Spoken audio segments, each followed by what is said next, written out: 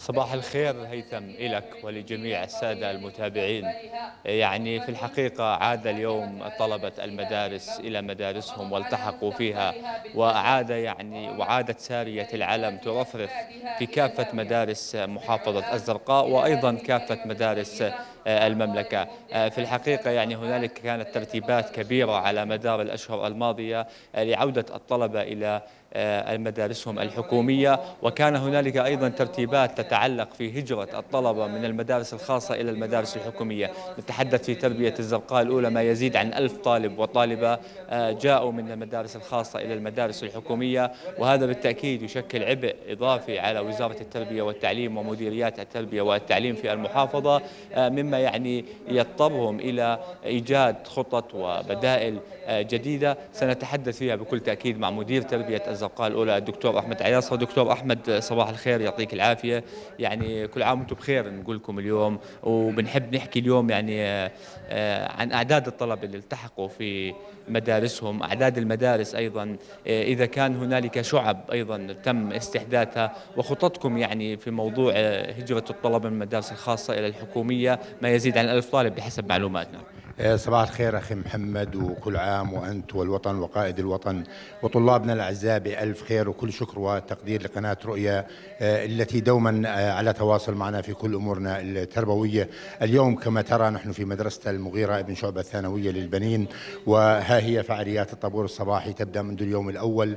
بحب أشير أنه كل مدارسنا الحمد لله رب العالمين على جاهزية عالية لاستقبال أبنائنا الطلبة وكان منظر بهيج هذا اليوم آه، عندما أرى أبنائي وبناتي الطلبة والطالبات وزملائي وزميلاتي المعلمين والمعلمات مديرين ومديرات المدارس يعودون إلى مدارسهم والحمد لله رب العالمين آه، تم آه، استلام وتسليم الكتب المدرسية لأبنائنا الطلبة تم تزويد المدارس بالمقاعد المدرسية خاصة أن نتحدث عن الزرقاء الأولى هذه المدينة طبعا الزرقاء الفسيفسائية مدينة الجند والعسكر والتي فيها أيضا أعداد كبيرة من الطلبة. عندما نتحدث عن الزرقاء الأولى الأولى. نتحدث عن 102 آه، طالب وطالبة في المدارس الحكومية وعن 27 ألف آه، أيضا طالب وطالبة في المدارس الخاصة. آه، هناك عندنا 149 مدرسة حكومية وعندنا تسع مراكز للأشقاء الطلبة السوريين. تم تجهيز كافة مدارسنا بأمور الصحة والسلامة. العامة. أيضا عندما نتحدث عن المقاعد المدرسية هناك أيضا ضغط كبير على عندما نتحدث عن ألف طالب أو ما يزيد عن ألف طالب أتوا من المدارس طبعا الخاصة إلى المدارس الحكومية. ونحن حسب قانون التربية والتعليم يعني نستوعب هؤلاء الأعداد. دكتور يعني هل سيكون هنالك استحداث لشعب أم فترات مسائية؟ نعم يا سيدي يعني هناك ضغط كبير عندنا على اللي هو القبول. لذلك تم زيادة عدد الشعب الصفية في كثير من المدارس. أيضا رياض الأطفال عندنا 145 شعبة رياض أطفال بواقع حوالي 3500 طفل وطفل التحقوا هذا العام. أيضا تم استحداث 19 شعبة آه، رياض أطفال وهناك أيضا ضغط آه، تم استيعابه من خلال تحويل بعض الشعب الصفية إلى صباحي آه، مسائي. فالحمد لله رب العالمين تم استيعاب كافة طلبتنا بدي أشكر وزارة التربية والتعليم ممثلة معالي وزيرنا الأكرم الأستاذ الدكتور عزمي محافظ وعطوفة الأمناء العامين على الحقيقة الجاهزية العالية واللي أتاحوا لنا الفرصة أنه يكون يعني هذا العام منذ البداية وخاصة أنه يعني آه، تم آه، تقديم العام الدراسي أسبوعين وهذا من صالح أبنائنا الطلبة فهذه خطوة أيضا تشكر عليها وزارة التربية والتعليم.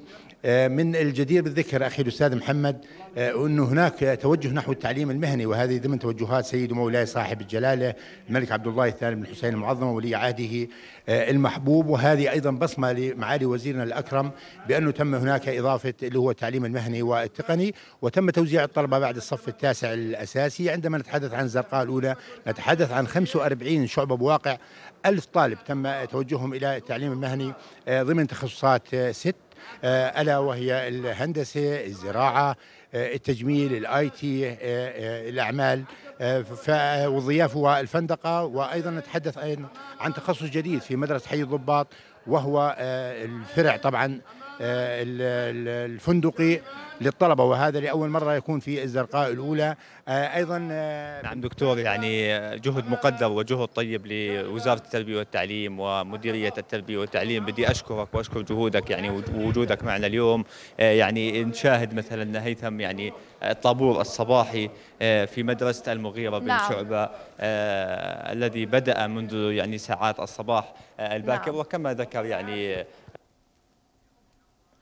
نعم اذا شكرا لمراسلنا محمد أبو علوان من الزرقاء. شكرا لك وشكرا لكل المعلومات اللي قدمت لنا إياها. وهلا خلينا ننتقل لحتى نعرف أكثر عن الأجواء في المفرق مع زميلنا شادي الوهيبي. صباح الخير شادي وأكيد عم نستنى منك تطلعنا على آخر الأخبار والأوضاع كيف عم بتكون. شادي الوهيبي زميلنا من الزرقاء صباح الخير. من المفرق عفوا. صباح الخير آه، ليلى. نحن من المفرق بداية. الله يسعد صباحكم جميعا. صباح العودة للمدارس. نعم قرابة 54 ألف طالب وطالبة في قصبة المفرق اليوم توجهوا إلى مدارسهم بالإضافة إلى 170 مدرسة حكومية في هذه القصبة قصبة المفرق و15 آه، مدرسة للطلبة السوريين حقيقة يعني ما رصدناه اليوم صباح اليوم كان هنالك يعني توافد كبير للطلبة خصوصا في هذا اليوم بعد عطلة وجيزة كانت لأبنائنا الطلبة آه، اليوم سيتم استلام الكتب لهذه الطلبة إن كان في البادية الشمالية الشرقية أو البادية الشمالية الغربية أو لواء قصبة المفرق حقيقة كان هنالك استعدادات كبيرة لدى آه، ثلاث. آه، ثلاث مديريات التربية التابعة لمحافظة المفرق منذ بداية العطلة الصيفية وبموضوع آه، صيانة آه، المدارس بموضوع تجهيز الكتب بموضوع أيضا صيانة المقاعد الدراسية. وللحديث أكثر ينضم إلينا مدير تربية لواء قصبة المفرق الدكتور أسامة الإجدفات دكتور بداية الله يسعد صباحك. يعني كان لنا متابعة حثيثة بموضوع جهودكم التي آه، آه، بذلت خلال العطلة الصيفية. نتحدث بهذه الجهود. حقيقة نرحب فيكم في قناة رؤيا وأهلا وسهلا فيكم. دائما تتابعوا الشأن التربوي. اللي تم عمله عمل تجهيزات كبيرة جدا حقيقة والاستعداد مبكرا في مديرية قصبة المفرق من حيث صيانات يعني الصيانات الخفيفة أو من حيث صيانة المقاعد المدرسية أو من حيث حقيقة الكتب المدرسية. والآن حقيقة الكتب المدرسية تسلم إن شاء الله اليوم إلى جميع أبناء الطلبة. وأيضا أيضا تم توفير جميع الكوادر التعليمية. الآن جميع مدارسنا الكوادر التعليمية الموجودة فيها جاهزة بحيث يبدأ إن شاء الله يكون يوما دراسيا منذ اليوم الأول عام دراسي منذ اليوم الأول عام يوما عاما دراسيا يوم دراسي فعلي لجميع أبنائنا الطلبة. نتحدث اليوم إحنا بالاجواء الحارة يعني كما نشاهد هنالك آه، ثلاث مراوح. ما هي تجهيزات في المدارس الأخرى؟ يعني حقيقه أغلب مدارسنا وكل مدارسنا مجهزة بالمراوح اللي في هذا ويوجد بعض مدارسنا حقيقة مجهزة بمكيفات أو بنظام تكييف ضمن طاقة شمسية لكن كل مدارسنا اللي هي مجهزة ضمن المراوح اللي ممكن توفر نوعا ما أجواء مناسبة لأبنائنا الطلبة. هل الخطه موجودة لتسليم جميع الكتب لجميع أبناء الطلبة اليوم؟ نعم اليوم جميع أبنائنا الطلبة سيستلموا جميع كتبهم في هذه وتم تأمينها في خلال الأيام القادمة وتم عمل أيضا أيضا أنا بقول غرفة عمليات على مستوى مديرية قصبة المفرق وهذه غرفة العمليات جاهزة لاستقبال أي ملاحظات من آه، أولياء الأمور من أجل معالجتها في أي لحظة من اللحظات. أشكره دكتور الله يعطيك العافية، كمان في حصة يعني ليلى وهيثم لابنائنا الطلبة اليوم يعني جميعهم على مقاعد الدراسة وهذا اليوم هو يوم سعادة لهم طبعا، الحين اليوم كيف شعورك في أول يوم دوام؟ طبعا مبسوطين اليوم التقينا بزملائنا، التقينا بمعلمينا آه، نكمل مسيرتنا العلمية بشكل عام بهذا اليوم إن شاء الله. طب عرفني بنفسك وأي صف؟ أنا علي محمد جديفات من الصف العاشر. طب احكي لي اليوم يعني آه، خلال العطلة الصيفية شو استغليت العطلة؟ استغلينا العطلة يعني مارسنا رياضه مارسنا بعض الهوايات اللي إحنا نسويها آه، ممكن طورنا مهاراتنا في القراءة والأشياء هذه. يعطيك العافية، كمان نأخذ الطالب هون عرفني باسمك؟ الطالب حمزة خوالدة من مدرسة الملك عبد الله الثاني التميز. ونعم احكي لي اليوم كيف الأجواء في أول يوم لعام الدراسي وهل أنت متشجع لهذا اليوم؟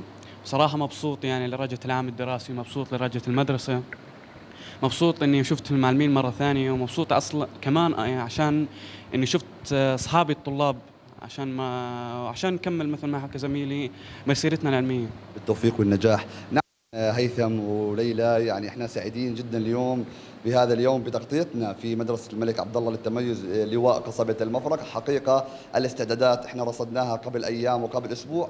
استعدادات كبيرة إن كان من الصيانة إن كان من آه، تجهيزات نعم. خصوصا في هذه الأجواء الحارة المراوح نعم. وأيضاً شكرا لوجودك معنا زميلنا. شادي الوهيبي من صباح المفرق وأيضا زميلنا محمد أبو علوان من الزرقاء. شكرا لكم. أكيد نتمنى يعني بداية عام جديد سعيد ومفيد. وفي العديد من خلينا نحكي المهارات والعلم اللي راح يكتسبوها خلال هذه السنة الدراسية الجديدة لكل طلابنا في المملكة الأردنية الهاشمية.